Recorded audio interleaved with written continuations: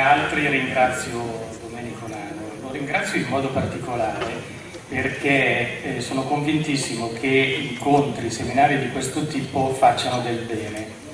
Fanno del bene perché trovare un argomento comune e affrontarlo, scusate, da più punti di vista, quindi dal punto di vista del musicista, del regista, del, eh, del teatrante, dello studioso di storia, dello studioso di, di, di, altre discipline, insomma, secondo me apre la mente a tutti. E nella nostra città in particolare noi abbiamo bisogno di queste cose, quindi proprio grazie davvero, continua.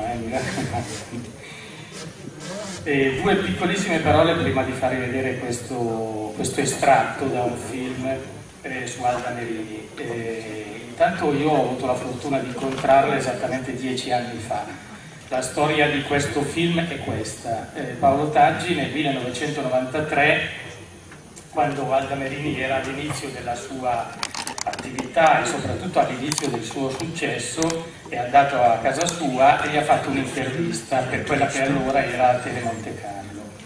Eh, questa intervista ha girato su Telemonte Carlo e su altre eh, emittenti private e poi nel 2005, ragionando insieme su quello che era successo ad Alta Merini, abbiamo pensato di andare di nuovo a casa sua, portare un monitor, portare il, il, su un VHS eh, filmato di allora e farglielo rivedere e quindi registrare le sue impressioni 12 anni dopo su quello che lei aveva detto 12 anni prima.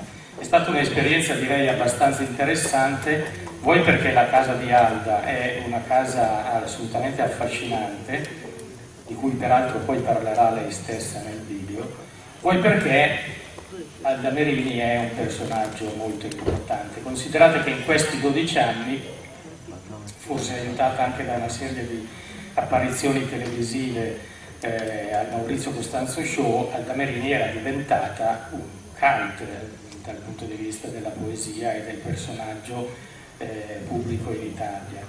E aveva superato il male, nel senso che eh, io ho parlato per un giorno intero e sono stato contento di averlo fatto con lei e non si poteva pensare che era una persona che era stata all'interno del manicomio per, per tanti anni parlando di lei anche di tutta una serie di cose che poi eh, con Domenico abbiamo ritrovato andando a lavorare sulle immagini dei vecchi manicomi. Allora, una domanda che mi sono fatto è questa, ma era lei che non era matta, e scusate se uso questo termine, oppure le cure che le avevano fatto sono state così efficaci da renderla una persona squisita con cui parlare?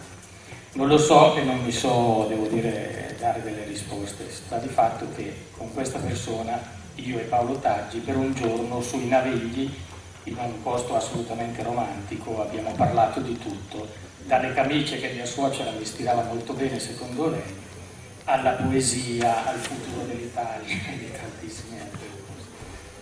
Bene, vi faccio vedere il filmato con una piccolissima precisazione. Renzo Crivelli stamattina parlava dell'imperfezione del male e una delle domande che si faceva durante il suo intervento, peraltro bellissimo, era come separare il bene dal male. Io non ho delle risposte, ma qualcosina secondo me Alda Merini all'interno delle sue parole ce lo dice.